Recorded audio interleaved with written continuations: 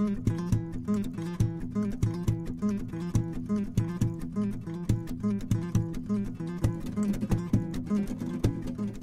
everyone, and welcome to another Yogi Misfit sessions. My name is Danni Pomplun, and I'm your host.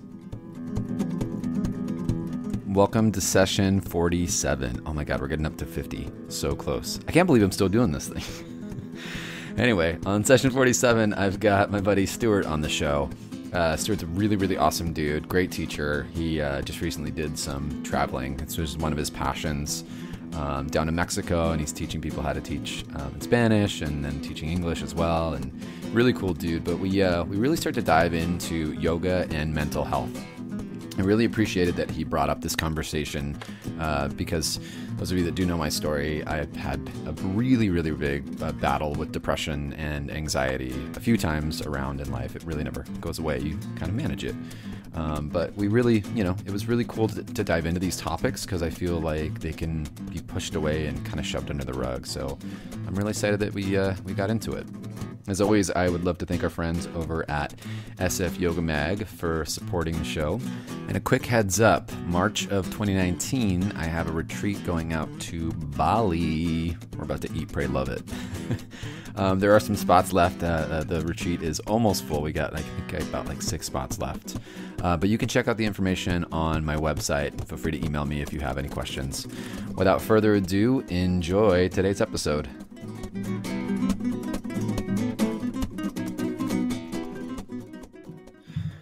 Stewart, my friend, welcome to the show. How's it going? It's going great, Danni. Thank you. Thank you for having me. I'm really excited to have a chance to talk with you. I'm really excited to get a chance to talk to you, mainly because we've been trying to talk to each other for a long time and it hasn't yeah. happened. Yeah, totally. But now, now it's all happening. Uh, everything, everything is happening right now. Everything. Right now. Yeah, All right now. all of it. um, so, hey, I have a couple questions to ask you. Tell me about this teaching. Yo- tell me about this teaching yoga thing in Spanish that you were doing. At like, Okay. so we kind of start uh, for people that are listening. Stewart and I have been trying to talk for a little bit on the podcast, and what he's doing is, you're, if I'm right, you're teaching people how to teach yoga, but in Espanol. Uh-huh. So basically, I was um, I love to travel. I've like lived in a bunch of different countries all over my life, and I've I've most of the big thing I've uh, done is basically moved to countries so that I can learn the language. Uh, so I speak Thai, Spanish, Portuguese, and I'm learning French. Um, and No big, no big deal, everybody. No big deal. and uh, that, was, that was like th- that was the humble brag. yeah, it's hard for me to tell when I'm humble bragging and not. But uh, and and so uh, so I was I, I want I moved to Mexico in January, and I really love yoga as well, and so I wanted to learn how to teach yoga in Spanish. Um, and basically, uh, I've found out that there's three different languages that when you're teaching yoga, you're using three different languages. You're using the language that we communicate every day, hand, feet, kind of basic anatomy. And then there's the medical terminology about how to move the body, thoracic spine, uh, lumbar spine, all these different things. And then there's an added layer, which is Sanskrit translated into the local language. right. So, for example, in Spanish, uh, u- upward dog is pero baja, para abajo uh, or pero para arriba.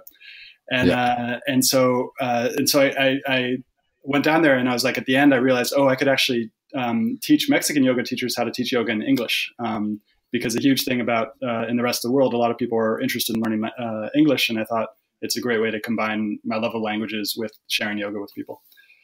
Nice. Yeah. How uh like how how I guess are you doing like a certain is it a teacher training thing or you're just going down there and being like, "Hey, this is a here's a two different classes." Yeah, so I'm still I'm still figuring it out. Um, I, but I, I think I want to start with workshops, just kind of like three hour workshops, see what the interest is, uh, see if people are interested in in, in kind of what the demand for it is, uh, and then eventually I want to get into doing teacher trainings and and other things, and maybe bring people from Latin America to San Francisco to do teacher trainings and kind of connect them with the yoga community here. I have this student um, at, at here in San Francisco, and she uh, she's she's super into Japanese. She's actually like she's learned the language, and she's she's loves the culture. And we were actually talking about this, I think, last Sunday. But she was like, "Danni, would you think there'd be any useful purpose for like a book that had?" Uh, like a, I guess a Uh. thesaurus in different languages for yoga teachers. So like you know the word "psoas" in like you know in, in Spanish, in English, in French, and whatever, whatever, and like that words like extend your spine, like those kind of like simple phrases that we use Yep. in yoga kind of deal. And I was like, yeah, that would be super friggin' awesome. and they're the hardest to find. So that's the that's the thing that was that I really did have to go to Mexico in order to learn this language. And and there's there's two interesting things that that brings up. So the first is that when you're speaking when you're talking about yoga in another language, um, we have words for the body part body parts that other languages don't ha- know how to express. So like the ball of our foot, uh, you can't say that in Spanish. You can only say punta del pie. Um, And that means the point of the foot. So that means like the toes and how they point not the actual like metatarsal line where the actual thing is. So I think that's a great idea. Um, I lost what the, I forgot what the other thing was. We should st- we should steal her idea and make it ours. Yeah, yeah. Slap our name on it, make some money, day. yeah. yeah. Right on. Well, I definitely wanted to catch up on that because I know like that's what you've been up to in the last, you know, that's what you were gone for a little bit. But Yeah. let's let's uh let's start diving in a little bit deeper into the conversation. So we want to get into the nitty gritty today Mhm. about uh, mental health and and yoga and Mhm. and I know you have some. Yeah, I'll just let you take it away. I know you have some things to talk about and and and and your experience with it. So let, let's Mhm. let's get in it. for sure. Yeah. So uh, I I've, I have a lot of kind of childhood trauma and issues um, and and stuff like that. And I came to yoga about 12 years ago, and I was like, okay, this is just a physical practice. I'm just going to take a little little like walk into this world. You know, all this esoteric kind of woo stuff like that all scares, scares the shit out of me. I'm not going to. Uh, Look so- deep into myself. No, thank you. yeah, right on the Cha- surface. However, I can learn any handstand you want me to. yeah. And uh, and so you know it was it was um, about 12 years ago I started doing yoga and then I would start to have kind of pretty intense emotional releases uh, and I, and you know I just started to take a look at my life and and and see some things that weren't going the way that you know they might have gone or not I, you know I, I don't know really what to say but and and so I was on I was on medicine for uh, um, ADD and ADHD uh, and I was taking Ritalin, Concerta, and stuff like that. And th- that was basically the only way that I could concentrate enough to do the things that I thought I had to be doing. For example, school. How old were university. you when when you first started, uh, like I guess treatment? Yeah, it was about 16 years old when I first started getting on uh, various different medications. None of them really worked until I found Concerta, um, and Right, that's okay. interesting because that's it's it's basically attention promotion through chemicals. Um, and I learned a lot from these these medicines. I don't. I think there's a there's a time and place for treatment. The thing that I've learned is that it needs to be uh, a temporary with set like beginning and an end, as opposed to this open ended kind of thing that most people are finding themselves in. Um, Right. But and then and so when I first started meditating, that was when I started to.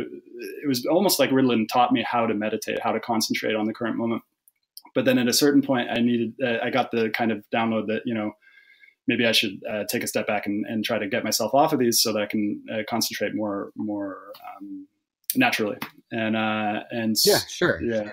And so that's when I started doing meditation retreats, um, and I was able to uh, kind of uh, help myself learn how to concentrate more um, effectively. I, I think certain people, you know, like I know there's there's an argument like you know meditation over medication or whatever, and I think certain people actually. Different strokes different folks. You know i think some people treatment is actually really good for them. I think some Mm. you know uh, medical needs and stuff like that like it's really good. And i also think that some people meditation is also good. And sometimes i think that for some people you can also blend the two together and Yeah. you know still get the result. But i always just like to remind everyone like look you got to do what's best for you. And also make sure that you're smart about it and that you're actually checking in to someone that's trained on it. Now meditation can do really cool things and yoga can do really cool things but Mhm. it's best to have all the information out in front of you Yeah, and particularly when you're dealing with cases of trauma, um, childhood trauma, uh, because it, it, meditation can totally re-traumatize as well. Um, particularly done with, with it, it's really important in cases of trauma to find somebody who has gone through trauma and and can guide you through that meditation process because uh, it can definitely lead you into places that um, are dangerous. Not dangerous, but you know, like maybe not the best for you at the time. Sure. How did you like? What have you seen like, as far like I guess in your own practice and in your own self, like since you started using different types of tools and techniques to deal with mental health? Um, you know, specifically using yoga. Like, what was it like beforehand, and what is it like now? And what was that transition like? I guess that's a big loaded question. All of it. Yeah, yeah, yeah. So basically, it, before it, the voice inside of my head was violent. um, and uh, self violent. So I, I, didn't really express this violence outwards too much. It was more on myself. And um, and so now it's become way less violent and every time that i hear that voice saying okay you should do this you need to do this i'm like oh do i really need to do this it's like giving right. me a kind of a skepticism over my own internal voices that that um in this kind of yeah uh, uh, yeah that's that's basically yeah mm-hmm. what's it like now now it's gentle calm there's still periods of intense uh, kind of violence and I get stuck in this kind of like I, I, I'm, I'm, i deal with some depression and stuff like that. And so there, it's in these moments of depression, uh, it's um, the trick is to try to find a way not to get lost in the depression and to remember, okay, this is based on things that I've con- been conditioned um, for, like childhood issues and stuff like that. It's my conditioning.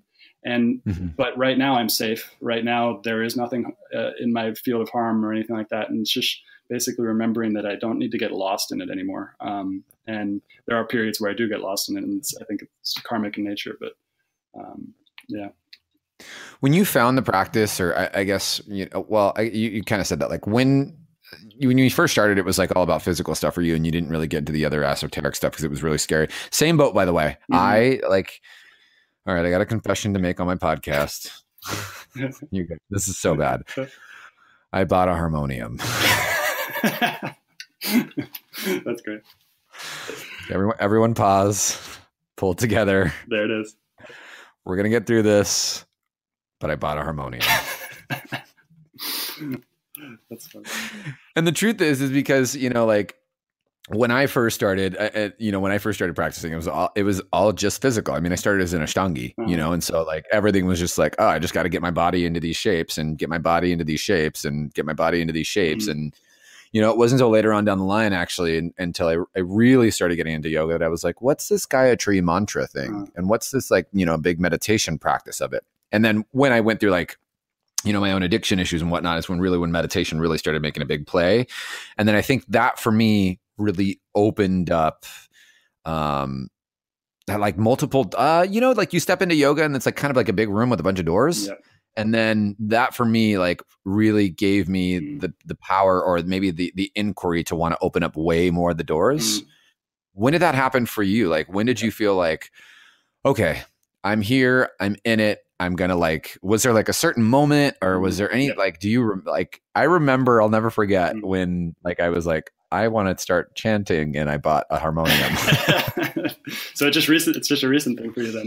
Uh, it actually was like it was. It was, not, it was a couple years ago. I took Janet Stone's. I took Janet Stone's class. I love her. She's she's super awesome. Yeah. I I get to see her weekly, which is like it, it's such a treat. But like I remember being in her class, and um, yeah, for I me, was anti everyone anti chanting, and finally I was like, Oh my God, she cracked me open.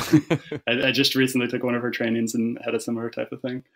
Um, nice. Uh, yeah, for me, that moment was uh, 2014. I had I had started a company and uh, I was trying to raise money. It wasn't going well.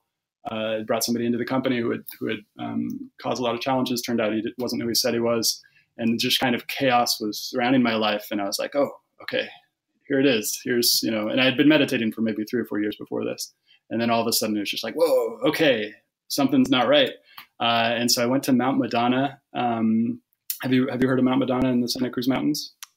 No, I don't even think I know. It's a it beautiful retreat center um, in the Santa Cruz Mountains. It's half intentional community, half um, half business, and so they you can book a re- retreat. Retreat you can bring people there on a retreat, and they have everything set up, food, and there's like half the people there are living there full time, uh, totally dedicated to yoga practice. Um, wow. Okay. Amazing, amazing place. And so you can do personal retreats there. And so I was like, okay, I'm going on a personal retreat. I got to figure out what's going on. I had done a 10 day, mm-hmm. I had mm-hmm. done a 10 day meditation retreat before. Um, and, uh, and so then I, I, I, I went there and, um, you know, I had this really, really powerful meditation experience where I don't know if you've um, encountered it before, but I encountered what some people refer to as the abyss. Um, uh, okay. It's just this space, space of emptiness uh, and uh, some people find it very joyful. And then I like, I was like, whoa, got to step back from there, and it caused a lot of fear. Uh, and then from that point on, I was basically, I gone, I went all over the world uh, doing ten day meditation retreats um, in different places. And so the, the thing that you said, which is most interesting, which is that it opens up there's a lot of different avenues and doors, um, and that's totally true. But then the issue you get into with trauma um, is that uh, uh, some of those doors might not be the best for you to open at that moment. Um, right. Um, and so I started opening a bunch of doors, and and uh, and and now I've kind of come back to a place where it's like, okay, that can wait. Like I don't need to open that door yet. Um, and but when it's right, I'll I'll do it. How do you balance, uh, I guess, and you know when to do that, and also uh, one, how do you balance mm-hmm. when, when and when not to do that? But two, like, are you also do you do other modalities of healing in addition to yoga for mental health? Mm-hmm. Well, I mean, yoga is a, a, a, big thing that that has a whole whole bunch of things that be con- considered yoga, um, and then a whole bunch that's been kind of mixed into New Age science. So I have a difficulty. I've I've tried to research this quite a bit. I have a dis- difficulty pinpointing exactly what is yoga, what is authentic yoga, what comes from the traditions that were practiced thousand years ago, and then what is um, a new addition uh, based on New Age kind of philosophy. And there's nothing wrong with New Age philosophy. Uh, um, so I don't. I, I, can you actually repeat the question? Yeah. So uh, like you know like what what type of in addition to your yoga practice, are you using any other like mm-hmm. modalities to kind of you know help help mm-hmm. treat you know ongoing mm-hmm. you know mental problems? or yeah, mental so recently, health, not problems. Yeah, yeah, yeah. I recently got back into uh, into therapy with uh, a yogi, which has been a huge um, uh, interesting because I had I had rejected therapy for a long time because it didn't it didn't encompass this aspect of body awareness embodiment um, that yoga does in, in a, a, beautiful way. And so I, I, had rejected therapy for a long time, and I just mostly recently come back to it. And I think it's really important um, uh, after reading Peter Levine's book, Awakening the the, the Tiger, um, about trauma. Uh, it's re- really important to work with a guide when you're working through trauma in, in psychotherapy. And then other modalities, massage has been a huge, huge um, player in my, in my in my healing uh, uh, path. Um, so body work and that connection between another person and just receiving the work and being that receiver. And now I've started to get in body work of my own. Um, Mm-hmm. Go for it. I was gonna say, what do you say to someone that's out there that you know is is maybe skeptical about um, you know using yoga as um, you know as as as something to help with their mental health? Like what you know if they're on the fence. Hmm. It's a good question. Um, yeah, I'm not not sure I have a good answer for that. Essentially, just whatever you try, let the results um, define what you do, um, not opinions about anything like that, but just really try it out for yourself. And if it doesn't work, don't do it. But if it works, follow it.